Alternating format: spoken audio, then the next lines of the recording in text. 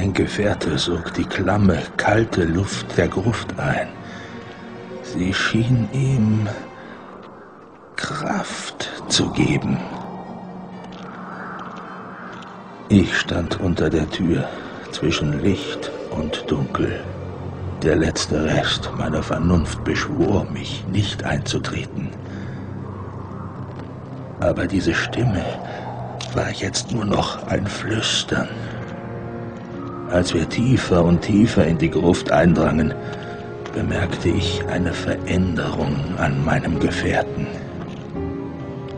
Er schien kräftiger zu werden. Ich konnte in der Dunkelheit kaum etwas sehen, aber mein Gefährte schien den Weg zu kennen. Schließlich kamen wir zu einer großen Halle.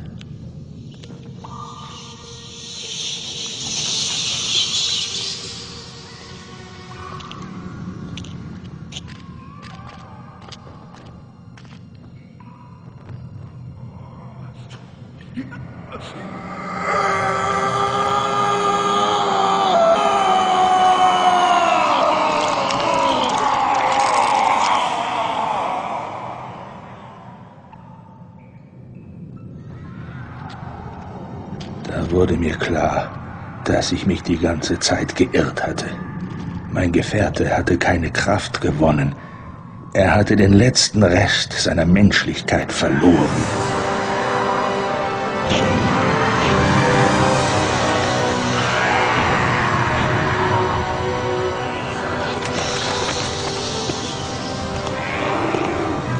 Er bewegte sich mit dämonischer Schnelligkeit und dann, und dann seid ihr aufgetaucht. Halt! Die hier gefangene Bestie darf nicht befreit werden. Nicht einmal von euch.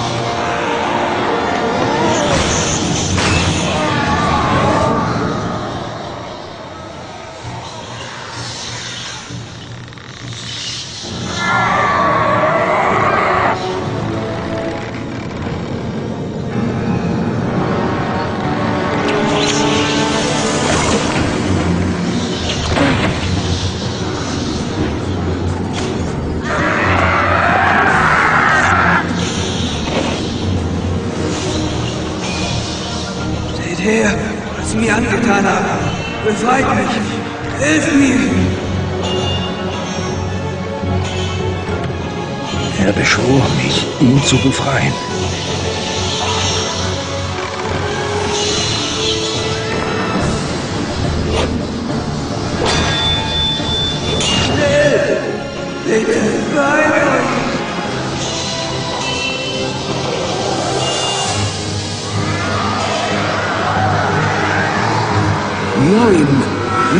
Es nicht!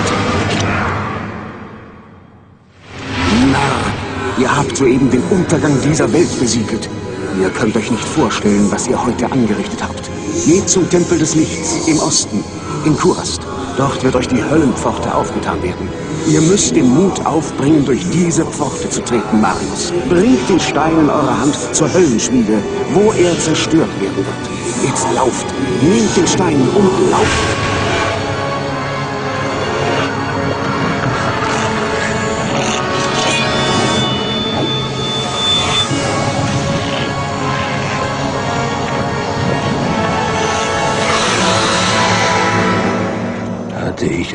Andere Wahl? Adaification hier. Und das hier wird eine reine informelle Folge. Aber da ich mir den ganzen Text nicht alleine geben will, ist bei mir die Zauberin im Körper eines Mannes. Ja, hier ist der Gecko Climber. Und ja, ähm, das wird jetzt wieder etwas gemütlicher heute mal, so zur Abwechslung. Kein Monstergemetzel und deshalb wird auch die Armee von unserem Totenbeschwörer nicht sonderlich viel zu tun haben. Nämlich vom Nobby Retro Wahnsinn bei diesem regnerischen Wetter in der Stadt Kurast und wir haben nur noch drei Skelette, weil wir immer noch keinen Nachschub bekommen haben. Brauchen wir aber nicht, weil wir machen Bummel-Video durch die Stadt. Und erklären kurz unsere Charaktere, was wir gespielt haben. Genau. Okay, fangen wir an mit Haradli. Okay, Willkommen in Kurast, junge Zauberin. Nur noch wenige kommen freiwillig in diese alte Stadt? Nee, schon lange Ich hoffe, ihr seid bei klarem Verstand, denn Vernunft ist hier knapp. Mein Name ist Ratli. Ich bin ein Zauberer. Metallbearbeitung ist meine Spezialität. Es wäre mir eine Freude, euch zu helfen. Heutzutage habe ich nicht viele Kunden. Meine Magie ist nur dazu dienlich, verzauberte Waffen herzustellen. Aber ich wette, eure wird diesem schrecklichen Übel ein für alle Mal ein Ende bereiten. Mögen die Geister von Skatzim über euch wachen und euch beschützen. Wie ihr sehen könnt, haben die Truppen von Mephisto die Bevölkerung brutal dezimiert. Die Kanäle sind rot von Blut und Dämonen streifen durch das Land. Die verdammte Dschungelhölle hat den größten Teil von Kurast überwuchert. Nur hier am Hafen werdet ihr Sicherheit finden, da ein magischer Schutzwall das Übel aus dem Dschungel fernhält. Aber ich weiß nicht, wie lange noch. Um alles noch schlimmer zu machen, haben die Kinder von Toll, Zakarum sich mit den mittendrin den Truppen Text von ab, weil Mephisto das zu schnell verbündet. gelaufen ist. Die Zakarum konzentrieren ihre Macht in der Guck bei den Tempelstadt anderen rein, Travinkal, wenn es da Moment. tief in der Dschungelwildnis von Kurast liegt. Es ist wahr, ihr Bei mir ist irgendetwas schiefgegangen. Der hat was komplett anderes gelabert, als ich es als Texteinblendung hatte. Gut, dann reden wir jetzt mit Mess schief. Stopp, hier am Mess okay. hat auch noch was zu labern. Ähm, Okay, Ah. 3, 2, 1. Tja, ich gab euch mein Wort und habe euch wie versprochen hergebracht. Aber bei allem, was heilig ist, ich wünschte, ich wäre nie an diesen verfluchten Ort zurückgekehrt. Dieser stinkende Dschungel kann nicht das einst stolze Kuras sein. Ich weiß nicht, was dies alles für Übel sind, mein Freund. Aber ihr müsst sie aufhalten. Ich bete nur, dass ihr es schafft, ehe der Dschungel den letzten Rest meines geliebten Heimatlandes verschlungen hat.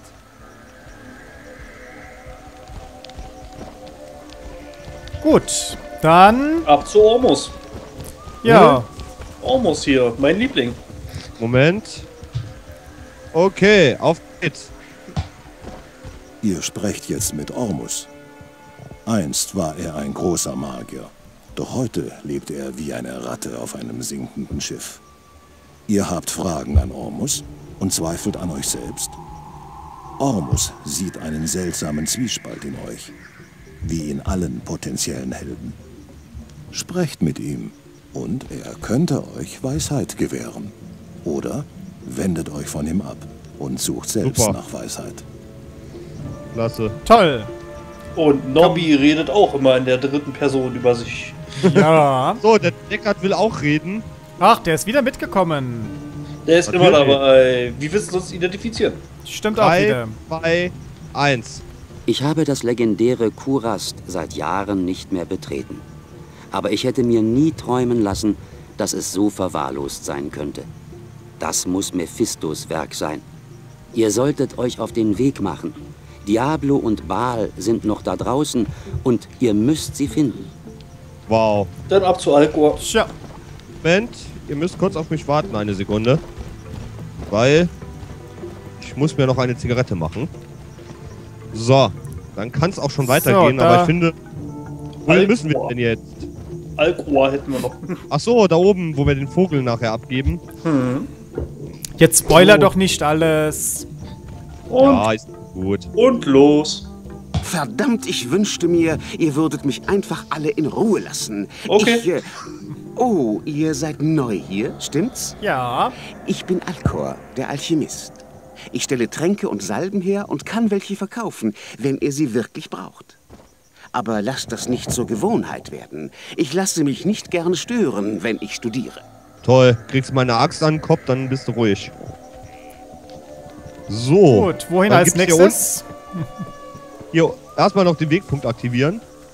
Gut. Okay. Wir Und dann können nach- hier noch mit Dings sprechen. Hier Ashara.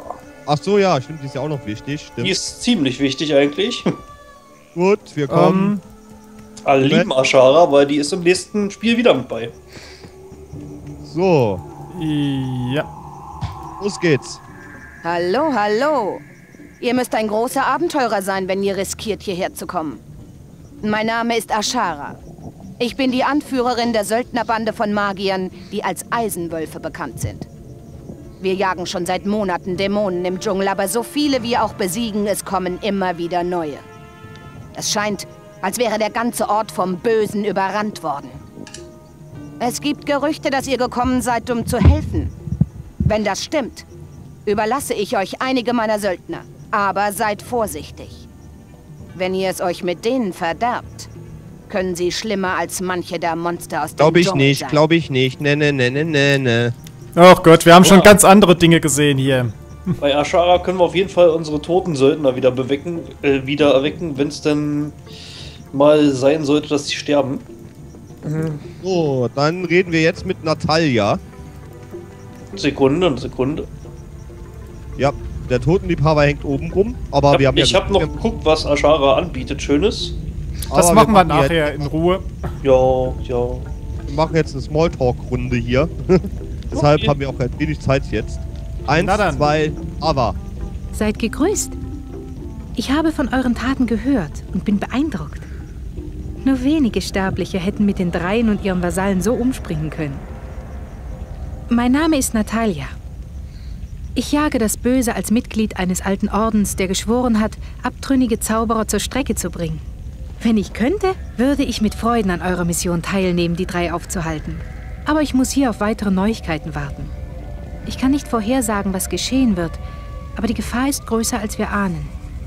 Bis ich meine Befehle bekomme, unterstütze ich euch mit allen Informationen, die ich habe. Wird nicht viel sein, würde ich behaupten. ja. So, hier hinten bei den Schmied. Ach, der ist gar nicht da. Der ist noch nicht da, der steht doch noch am. Der hat uns doch am äh, Dock begrüßt. Ah, okay. Dann sind wir durch soweit oder fehlt noch jemand? Ne, wir haben alle angesprochen, weil So, so, Rati äh, steht ja momentan hier. So, um LP Desertin zu befriedigen, stellt Nobby seinen Charakter jetzt als erstes vor. Und dann der Gecko und zum Schluss ich. Ja, also mein Totenbeschwörer. Momentan befinden wir uns auf Level 20. Ich äh, verteile meine Skillpunkte relativ sauber zwischen Stärke, Geschick und Vitalität. Energie braucht ja mein Totenbeschwörer nicht. Vitalität ist ein bisschen weiter vorne. Ähm, Geschick für den Verteidigungswert, damit der Blockwert auch ein bisschen stimmt. Und Stärke, damit ich die Ausrüstung auch tragen kann. Wir haben bei Widerständen sieht es noch nicht so schön aus, wie es sein könnte. Der Skillbaum, wie ihr seht, ähm, bewegt sich nur auf Skelette und da geht's auch weiterhin nur hin, weil da haben wir noch viel zu skillen. So, im Inventar sehen wir, da ist mein Helmchen, der wird definitiv in nächster Zeit ersetzt. Hier meine Waffe, ich bin ja nicht so auf Kämpfen. Meine Rüstung, konservierter Kopf, wird auch so in der Richtung bleiben. Hier den anderen Krimskrams und mein Söldner hat einen schönen Helm auf, einen kleinen gesockelten, eine Rüstung und eine Sichel. So, das war's von meiner Seite aus. Gut, dann mache ich jetzt gleich mal als nächstes weiter. Und zwar, ähm, ich spiele eine Zauberin. Die Charakterwerte. Ja, ich versuche die Stärke ungefähr so zu halten, dass ich meine Ausrüstung tragen kann. Geschick ungefähr genau dasselbe. Und ansonsten versuche ich, ja, Vitalität und Energie. Also Mana ist bei mir regelmäßig knapp, wie man wahrscheinlich schon mitbekommen hat in der Zwischenzeit. Und da gucke ich halt auch, dass da so ungefähr immer genug Vorrat da ist. Dann einmal schnell den ähm, Skillbaum. Ich äh, gehe hauptsächlich Richtung Blitzmagie. Das heißt jetzt angefangen mit dem Combo-Blitz, Blitzschlag und Kettenblitz. Und wenn ich denn ja mal mehr oder weniger Lust darauf habe, dann auch investiere ich auch mal den ein oder anderen Skillpunkt in Wärme, damit sich bei mir der Mana-Vorrat ein bisschen schneller erholt. Dann gehen wir mal schnell ins Inventar. Das ist momentan noch relativ aufgeräumt. Ähm, es wird recht viel davon wahrscheinlich, sobald sich etwas Besseres findet, weichen. Sprich die Rüstung und der Helm. Waffenmäßig bin ich jetzt hauptsächlich auf den Bogen umgestiegen, damit ich dann mich schön im Hintergrund halten kann.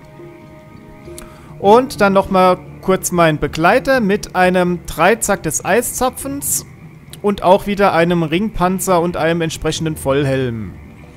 Ja, das war's dann von meiner Seite und jetzt ist der Ada dran. Ja, also, wie man sehen kann, ich bin Level 21. Ich verteile hauptsächlich auf Stärke und Geschicklichkeit. Vitalität vernachlässige ich ein wenig, verteile ab und zu nur ein paar Punkte rein. Energie gebe ich gar nichts rein, brauche ich als Barbar eigentlich nicht. Jedenfalls nicht so wirklich. Ja, ich, sonst die Widerstände sind noch sehr, sehr beschissen. Aber darauf kommt es beim Barbar auch nicht an. Und dann gehe ich mal ins Inventar. Ja, wie man sehen kann, ich habe eine gute Bänderrüstung mit 107. Die wird sich aber noch jetzt ändern, wenn wir hier einkaufen gehen. Ich habe mich auf Äxte spezialisiert.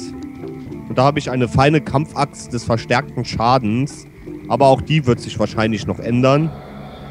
Dann den Helm, den Visier Ghoul Vollhelm.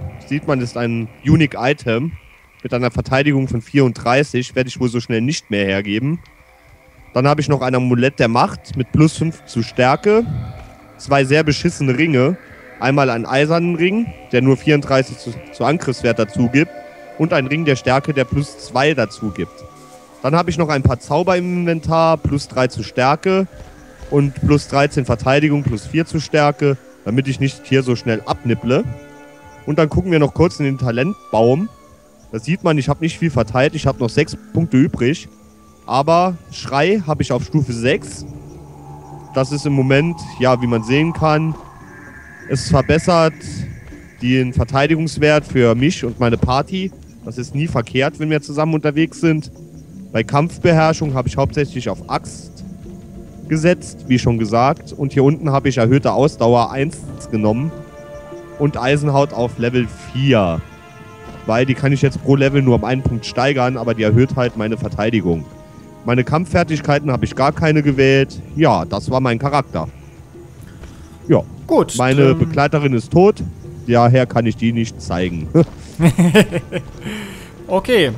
Dann sind wir soweit durch. Ähm, gehen jetzt gleich noch eine Runde shoppen, würde ich sagen.